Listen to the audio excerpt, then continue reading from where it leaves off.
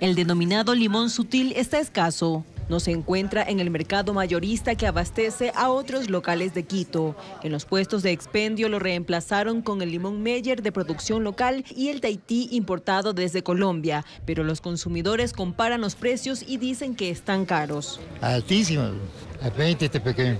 ¿Y antes cuánto compraban? Unos 4 o 5. Según los comerciantes, la escasez de limón sutil ocurre porque no se ha cosechado en la costa por temas climáticos y lo importan desde Colombia. El quintal que estaba en 60 dólares ahora es adquirido en 110. Están esperando que salga la producción de limón manaba y con eso tratar de menorar el costo de la producción. Otro producto que se mantiene con precio alto es el verde. El barraganete es vendido a 3 por un dólar. Antes se ofrecía el doble por el mismo precio. Explican que es porque se está exportando.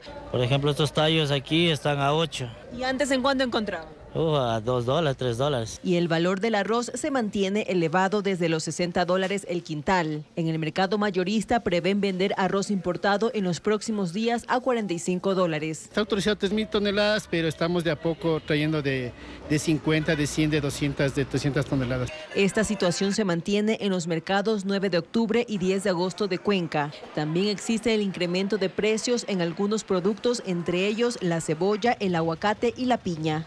Los clientes del mercado Sauces 9 de Guayaquil también pasan por la misma situación. El verde está muy caro. Igualmente que eh, la cebolla, todo lo que son verduras. Dicen que no tienen más alternativas que ajustar su presupuesto y comprar menos.